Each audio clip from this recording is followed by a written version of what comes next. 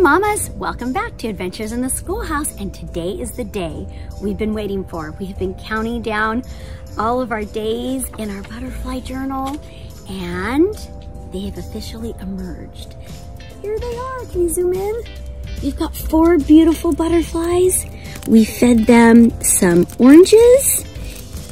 They like oranges or you can also do um, orange juice on a cotton ball and then we, we also gave them flowers. So we have been feeding them today as they emerged and they suck the nectar. Oh, look at this one. They suck the nectar out of the flowers. And now we're going to release them into our milkweed garden that we planted. So then that way um, we can do the whole life cycle again and support our environment and support these little butterflies so they don't become extinct. And um, yeah, we get to do the life cycle again and again each year. Okay, you ready to go to the garden? Milkweed garden. And we've got our beautiful butterflies that have emerged. Our painted ladies. And here's our milkweed. And this is what they eat, okay? All of this is milkweed. Can we kind of show the show the garden? We've got milkweed all right here, milkweed right here, our beautiful goat Willow. Hey Willow, you gonna watch us release the butterflies? Look at this little guy, he's on my arm. There he goes. Bonjour papillon, au revoir. That means goodbye in French, goodbye butterfly. Okay, let's say goodbye. Let's say au revoir to another papillon. Let me get another one. Oh, I want to hold him. Oh, it's kind of bittersweet. Oh, au revoir.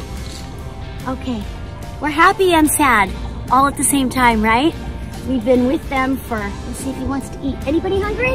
Oh, au revoir. Okay, they'll stay in our yard They'll stay in our yard and they'll make this their home. So it's, it's kind of exciting. So they may or may not be hungry right now. If they're not, that's okay. Oh, this one just wants to stay on my hand. Oh, that one's on the milkweed. That's beautiful. I just love this life cycle. This is so much fun. So nearly a month of us counting down the days and what a beautiful metamorphosis this is, right? Oh! Au revoir, papillon! All right, guys. So let's say goodbye to our very last little butterfly. They'll stay in our garden and they will live here. And the cycle, the life cycle will repeat.